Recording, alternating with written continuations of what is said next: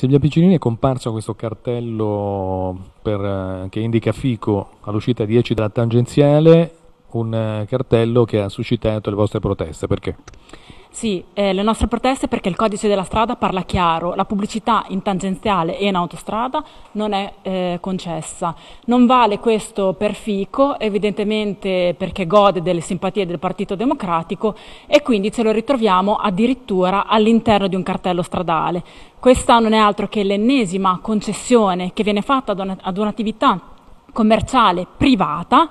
che si aggiunge agli spazi dati senza uno straccio di bando pubblico o procedura ad evidenza pubblica, che si aggiunge alle navette eh, che dovevano servire a beneficio di tutta la città e in realtà adesso saranno a disposizione di eh, FICO,